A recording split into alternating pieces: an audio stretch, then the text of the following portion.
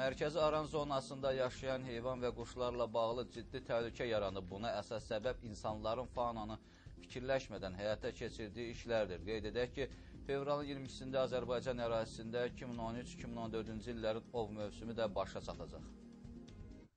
Son dövrlər Mərkəzi Aran bölgəsində təsərrüfat sahələrinin genişləndirilməsi, bataqlıqların qurudulması, heyvan və quşların yanlış zamanda təcrübəsiz ovçular tərəfindən ovlanması, heyvan və quşların sayının azalmasına və onların nəslinin tükənməsinə gətirib çıxarır. Bunu Mingəçevir Ovçular Cəmiyyətinin sədri Mütalib Hüseynov deyir. O, bunu hazırda volyerlərdə saxlamaq üçün ovlanmasına icazə verilən bataqlıq qunduzuna da aid edir.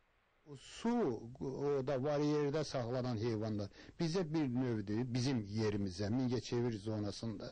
Bu su qunduzlarıdır. Onu e, qabaqlar bizə təsərrüfatlar olanda onu götürüb saxlayırdı.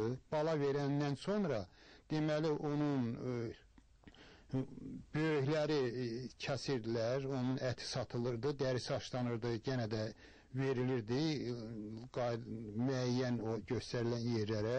Mütalib Hüseynov bildirir ki, vaxtilə Tuqay meşələrinin qırılması Mərkəzi Aran bölgəsində yaşayan heyvan və quşların digər yerlərə köç etməsinə şərait yaradıb. Qeyd edək ki, bu ərazidə quraqlıq və Tuqay meşələrinə xas heyvan və quşlar yaşayır. Xatırladaq ki, Azərbaycan ərazisində 2013-2014-cü illərin ov mövsümü fevralın 22-sində başa çatacaq. Ekologiya və Təbii Sərvətlər Nazirliyinin bioloji müxtəlifliyin qorunması və xüsusi mühafizə olunan təbiət ərazilərinin inkişafı departamentinin elan etdiyi ov mövsümünə əsasən ötən il iyunun 1-dən oktyabrın 19-na dək təkənin, sentyabrın 14-dən dekabrın 21-nə dək qabanın, 2013-cü il noyabrın 9-dan bu ilin yanvarın 11-nə dək doğuşağın ovlanmasına icazə verilirdi. Ötən il oktyabrın 12-sindən qüvvədə olan bataqlıq qunduzunun, yəni nutriyanın ovlanma müddəti isə fevralın 22-sində yekunlaşacaq. Elçin Baxşalızadə, Faik Yusifoğlu, Ayşən Abdullazadə, Mingəçevir.